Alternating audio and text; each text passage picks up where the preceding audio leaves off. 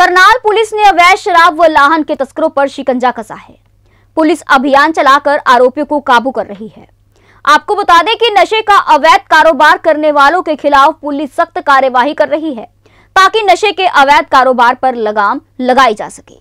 Police ने 22 आरोपियों को काबू करके भारी मात्रा में अवैध शराब व लाहन बरामद किया है। पुलिस ने सताईस जुलाई से 3 अगस्त तक अभियान चलाकर कई तस्करों को काबू किया। बता दें कि पुलिस अधीक्षक सुरेंद्र सिंह भोरिया के दिशा निर्देश के अनुसार नशा विरुद्ध अपराधों पर रोक लगाने के प्रयासरत करनाल पुलिस निरंतर कार्यरत है।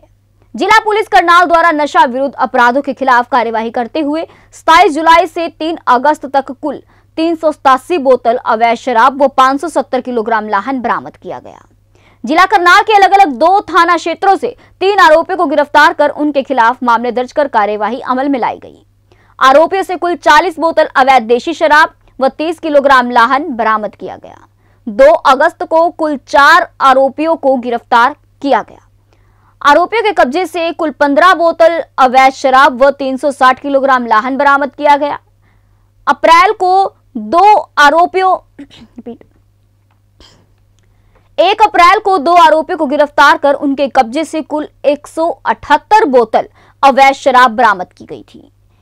इसी संबंध में इकतीस व तीस जुलाई को चार आरोपियों को भी गिरफ़्तार किया गया। आरोपियों के कब्जे से कुल छप्पन बोतल व एक पौवा अवैध शराब बरामद की गई।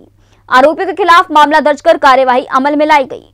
उनतीस जुलाई को चार आरोपियों को गिरफ़्तार कर उनके कब्जे से कुल तिरतालीस बोतल अवैध शराब बरामद की गई व 27 और 28 जुलाई को कुल पाँच आरोपियों को काबू किया गया।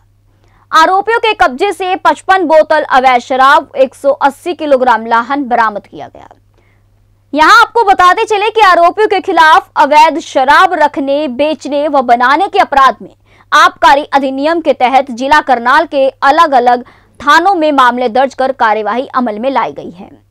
जिला पुलिस करनाल द्वारा करनाल वासियों से अपील करते हुए कहा गया कि अवैध नशे के कारोबार के खिलाफ करनाल निवासी नजदीकी पुलिस स्टेशन, पुलिस चौकी या पुलिस कंट्रोल रूम में इसकी सूचना दे। सूचना देने वाले का नाम गुप्त रखा जाएगा और नशे का अवैध कारोबार करने वाले लोगों के खिलाफ सख्त कार्यवाही की जाएगी, ताकि नशे के अवैध कारोबार पर लगाम लगाई जा सके।